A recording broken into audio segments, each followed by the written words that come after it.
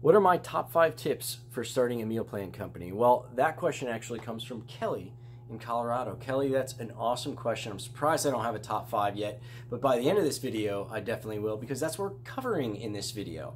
Now, my name is Casey Cochran. I am one of the founders of Fit Food Fresh, Florida's highest rated meal plan company, and I essentially started this YouTube channel just to share my experiences. Uh, my business partner and I are going to just drop whatever knowledge we have, answer whatever questions we can. So definitely like, comment, subscribe, get the little alert bell, all that good stuff. And uh, if you have any questions like Kelly's, or you have any critiques or ideas or things you want me to discuss, please let me know.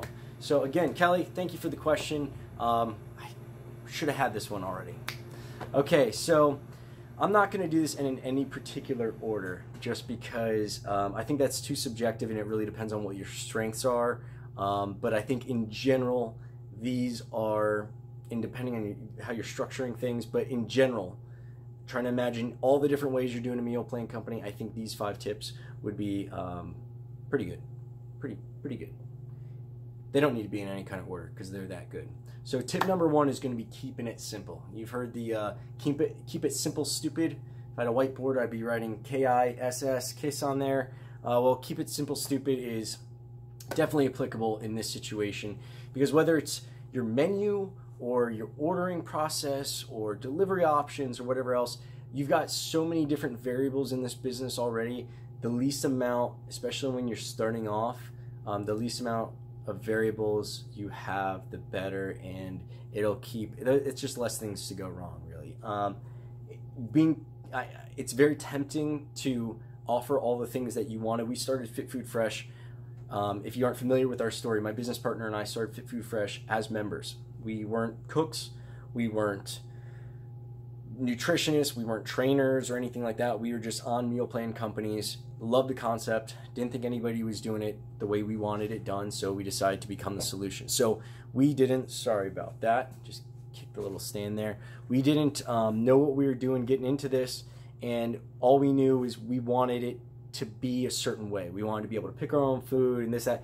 We wanted to have a nice big menu. We made things a little bit harder than they should have been in the beginning because we didn't know that keep it simple, stupid uh, related so well to this business, and it did. Going back, I would have um, kept the menu a lot more simple to begin with because once you set those expectations, once you have 30 items on the menu, it's hard to go back to 20 or 15. Um, once you start doing vegan and you start catering to some vegan, it's hard to pull it back and just do vegetarian or drop it all together because there's only a handful of them because you will lose them. And when you have to lose members or clients in such uh, an early phase of your business, when they're making up a large chunk of your revenue, you're just like, oh, should I keep this menu on and just try to, you know, drum up enough people to order from it so that it justifies production? Or, you know, I don't want to get specific, but because um, it was, I handle that. Going check out the production video um, because I definitely explain the perils in more um, specificity. Um, but keep it simple, stupid. We'll, we'll keep it that. So that's tip number one. All right, tip number one. That makes sure sure it shows up guy in the window just thought I was signaling to him. What's up? Uh, so tip number two. Tip number two is going to be. I want this to not be scary, but uh, escape the machine. The machine is the business, and I mentioned this in production as well, specifically specifically discussing um, chefs or people who start the meal plan as an owner cooker, cook cook. Um, you might not be a classically trained or a you know, it might not be a trained chef or a real chef, but if what I mean by chef is if you're the person cooking the food, it's a dangerous position to be in. But at least that's obvious. The problem is if you're if you're an integral piece of the business, you obviously can't take vacations or um, do a whole lot without the the business taking some kind of a, a, a hit. If you're the one cooking um, and you know it the business relies on you to make food, you can't leave. Otherwise, food's not going to be made, right? So that that also applies. At least it's obvious for the chef. Like I mentioned, there's other positions in the company where you might not be the chef, you might be the salesperson. Um, and if the business is very reliant on sales and you're very good at sales and you're the one contributing most or all of the sales, you can't leave. Otherwise, there's no sales. Customer service same thing. If you're the one handling all the problems and solving all the problems and you know handling all the irate customers or, or whatever else, you can't go away. You have to be there all the time. So you're built within the machine. Now imagine some kind of machine and there's a wheel that has to be spun and you're in there manually spinning the wheel. You stop spinning the wheel and the machine doesn't work or starts breaking down or whatever. So you got to be in there spinning it. Now you can automate this process of spinning the wheel with you know some added piece of machinery that then spins the wheel for you. That might be uh, an analogy for software to automate, you know, like that. And then uh, you can also hire someone to spin the wheel for you. So that's not as ideal, but if it's production, production's not going to be solved by software. So that's a situation where you're the chef, spinning the wheel is making the food in this analogy, and you got to hire some other chef to go in there and spin the wheel, which as you may recall is production. Um, so yeah, software or hiring is going to be what gets you out of the, the machine.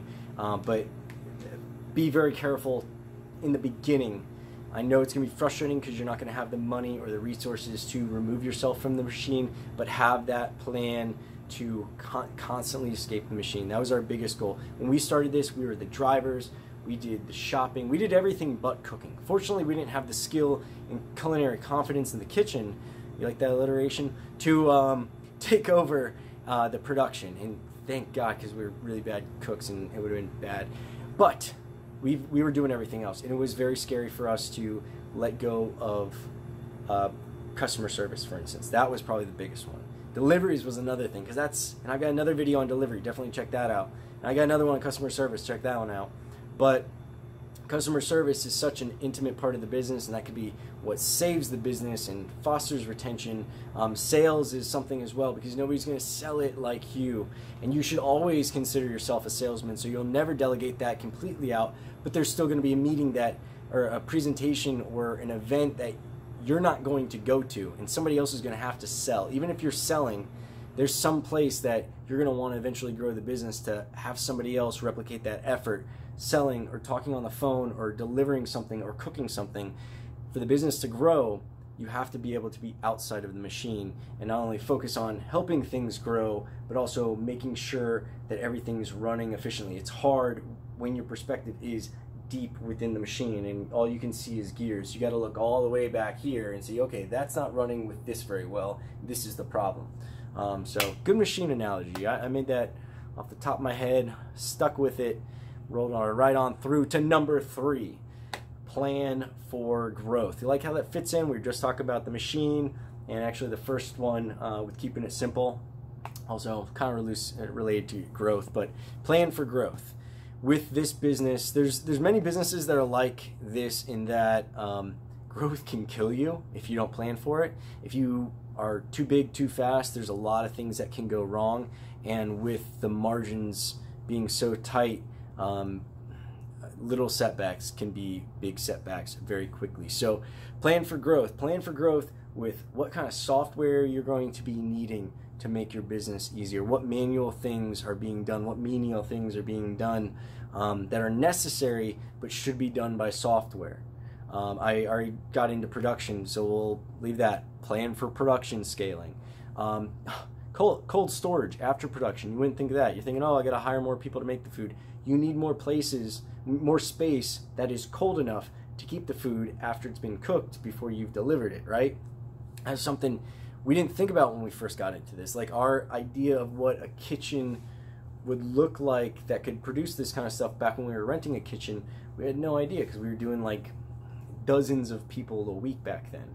Now, um, hundreds of people a week, thousands of meals a week there's cold storage issues that we've got a warehouse with two massive walk-in refrigerators that we had to add they're, they're rooms that are refrigerators. One's 20 by 20 the other one's bigger than that 20 feet by 20 feet.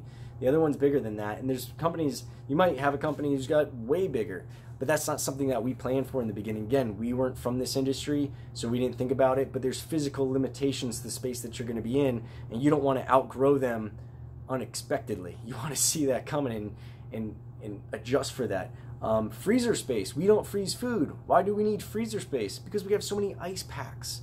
We have a 12 by 12 freezer full of speed racks, full of ice packs, and that's not enough. So now we have uh, half a dozen chest freezers filled with ice packs. There's no food in any of these freezers. This is all ice packs. You wouldn't think that. You're like, oh, the company, we don't freeze food. We got fresh in our name. We don't freeze our food. Huh, what would we need all these freezers for? Ice packs, man. It's crazy. Um, okay, number four, commit to learning.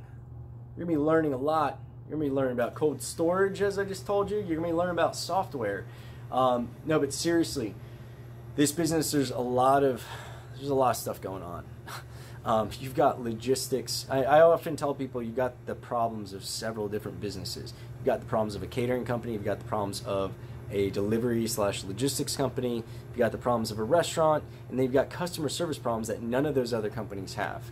Um, and subscriptions. I mean, it's it's it's crazy. So there's a lot of different developments that are constantly happening. So much stuff is being developed. Your phone is out of date. If it's you know six months old, it's out of date. Well, software is um, you know uh, rapidly you know uh, evolving that way as well. There's not a whole lot out there for meal plans just yet, but there's a lot of stuff that's kind of universal for many businesses that you should be learning about. And it's not as easy because you can't just Google what's a good software program for my meal plan company and have them all spit it out. But for instance, I've got some um, videos not only on software and programs that we've created um, that we will give you access to, obviously, um, but also stuff that I'm a big fan of, like Zapier. I've got some videos on Zapier. Zapier is Z A P I E R. Some people pronounce it Zapier, but they call them Zaps, so I'm assuming Zapier. It's kind of like a, is that an adjective, adverb?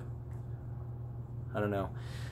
I, dropped out of high school. Um, so, whatever, zapier.com, Z A P I E R. So cool. Check out my videos on that. I got tons of videos. So, oh, we talked about. You want to see my uh, the production video, talk about keeping it simple.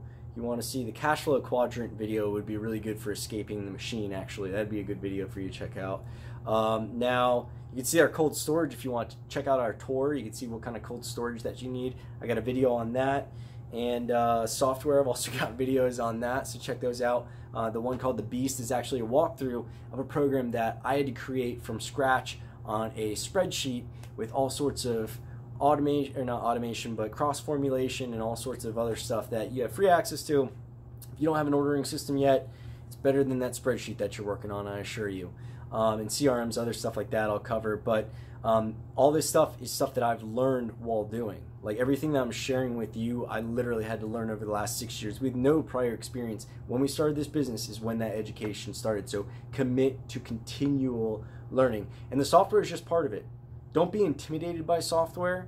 If you're completely unfamiliar with it, you don't need it, but just hire somebody who is savvy on it. Um, and it would definitely help you. The more familiar, the better. But don't be afraid. There's definitely companies, you're going to be limited by what you can do. Um, but there's also I mean, you got to keep up to date with diet trends. Keto wasn't around when we started this. Paleo was new um, when we started this.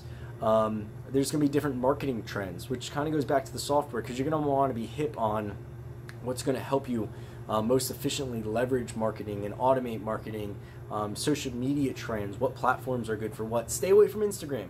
I'm going to leave you with that tip, or I'm not going to leave you yet. I got one more tip, but uh, I'm going to give you that tip um, stay away from Instagram, for instance. That's something I recently learned. I've been studying social media. That's another thing I had no real strength in. Um, really didn't want to use it other than what I had to do for business, and now I'm having to get deeper into it because at the end of the day, no social media person is ever going to love your business as much as you. And me knowing a little bit more about what their capabilities are, what to expect from them, what they can do, and which ways to go. We had a social media person who was charging us $2,500 a month and pushing Instagram really hard. And we're just like, we're not getting anything from it. Well, now I started learning about social media, and all the social media people are saying Instagram is horrible for conversions.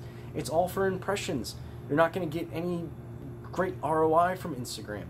You may, I don't know, but if you're not, that's why. Um, and that's something I just recently learned. Now, according to this social media expert, we were paying $2,500 a month. Instagram was the way to go. Well, unfortunately, in life, people are, if they have something to sell you, it's going to be whatever it is, is the best. If they have a certain software platform that they're familiar with coding in, that's the best solution for you. If they're only familiar with a certain social media platform, that's going to be the best for you. So they're obviously not going to recommend Facebook when all they know is Instagram. Um, but do your own research at least enough to sit at the table confidently and ask, know when to ask them when to explain their decisions. So right now, I would know if she was pitching Instagram, you know, if we could go back months, many months of paying her, she's pitching Instagram. Now I know why. How am I going to convert from, you know, I have a bunch more questions, but I wouldn't know that unless I committed to constantly learning. Um, so tech, trends, diets, marketing, all sorts of stuff. And the last thing, this is probably the most important, is going to be seeking critiques, both as a person, as a business owner, as a business, as a coworker. Constantly ask for critiques. I'm fortunate in that my business partner and I we're on the same level, so I think that allows me to be. It helps me be more open to criticism because I have somebody else, not to like pull rank or anything, and not that I pull rank, but I have somebody who I have to listen to because they are on my level, and I have to take their consideration or take their their feedback into consideration, and we we counsel each other back and forth on how we perform. But then we also have that translate down into the business and how the business runs, and we ask our our clients constantly, you know, what can we do better? Critiques are always more useful than compliments. You know, compliments can be complete bullshit. Sorry for swearing. Not really. Complete bullshit. Complete fucking bullshit. Oh, sorry, that was a little bit grotesque. Um, but when you get a critique or an insult, there's normally going to be some truth there, right? So, not to say you, you're going to ask for people to insult you, but um, when someone does come up with a critique, there's going to be some truth to it. It might be an exaggeration, it might be a one out of a hundred um, kind of opinion you know, but you're still going to want to, you know, take that all in and let people know that it's appreciated. Let them know what you're going to do with that information. If someone tells you that you're a dick in the morning before you have coffee, might be hard to hear, especially if you haven't had your coffee yet. But just say, you know what? I'm going to try to be more present in the morning. I appreciate you saying that. It's not easy to be critical, so I really appreciate you helping me find a way to improve, and I'm going to try to have my coffee earlier or whatever else. Um, I'm trying to I'm sorry for using a silly ex- example like that, but again, it could be anything. It could be something with the company, asking, uh, you know, about feedback on food. Someone might say that the steak was too tough. It might be the way they cooked it. So that's going to be one of those one in a hundred. But it's like, you know what? I'm going to ask the chef if there was anything that he did differently. By the way, how are you cooking it? Have you noticed is it is it always on your beef products, or are they always a little bit tougher, or is it you know throughout all of our cooking? Because you know it, you know take that critique though. Let them know that you're going to be trying to solve a problem with that, because that'll make them not only feel appreciated, but they're going to be more likely to give you a critique in the future. And the first couple might be useless. They might be something that you can't do anything with, but every once in a while, you're going to get a gem that is going to give you a decision, uh, giving you an idea, help you make a decision that will completely, you know, change your business. Hopefully for the better. Hopefully you don't stop serving something because one person complained about it, or hopefully you don't, you know, do a drastic course of change because one, you know. anyway, sorry. Um, before I get a little bit too carried away. I'm going to end it right there. So that's the five. So again, we're going to keep it simple. Um, we're going to try to escape the machine. We're going to plan for growth, commit to learning, and seek critiques. And now, honestly, if you if you follow those five, I, I mean, you would have you would avoid probably 90% of the problems that we've had. And a lot of stuff still affects us or we still have scars to this day because these were things that we didn't consider. We made our menu too complicated. We made um, we waited way too long to get ourselves out of the machine. It definitely, definitely uh, stunted our growth. Um, we didn't plan for growth. We were blindsided by a few things. There were some software platforms that we didn't realize um, while those systems were elegant and they looked great and they functioned very well at a small level, once we started running higher transactions through, they didn't perform well. Once we started having um, more data and they had to pull it all at one time, we started having issues where the browsers would time out. Um, so those are issues with growth that we didn't see. Um, committed to learning, at least I would say that we uh, we've always been committed to learning, and we've always been seeking critiques. So those three, I should say, are uh, the three that really hurt us. The other two we were doing, but in spite of those, these other three definitely held us back. And I would say, I would I would honestly say to you, um, and this isn't something that I'm you know very proud to admit. I'd say there's there's easily two years, and I think my business partner would agree. Um, I feel like there's two years that we lost, and it was from a number of things, but those three things definitely contributed to it, especially the planning for growth um, related to software. So I'd say there's about two years of our business that we lost um, in making progress because of uh, really simple things like this. So um, it seems like a simple list, and I would love to get into more depth.